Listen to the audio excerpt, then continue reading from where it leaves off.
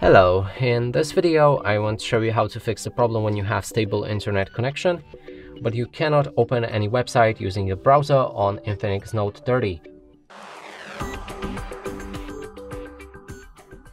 And to do this we'll need to open our Google Chrome or basically any other website uh, web browser and here if we try to reach any website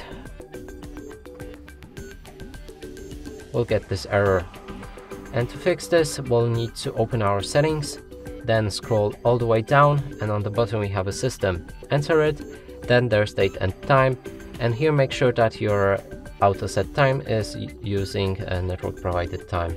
We can go back to our browser and try to refresh the same page, and now it works fine.